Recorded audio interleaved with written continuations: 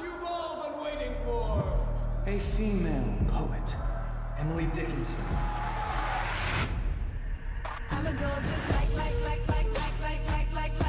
A woman should receive an education, but should not be the same as a man. Maybe they're scared that if they teach us how the world works, we'll figure out how to take over. Mm. Mm. Morning, ladies.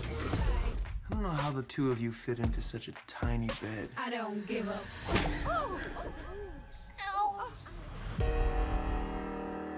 I have one purpose, to become a great writer. And there's nothing you can do to stop me. Hey. She's so insane. Of course she's insane. She's Emily Dickinson. You need to cut out these sort of antics. I'm a. I have to do something, Sue.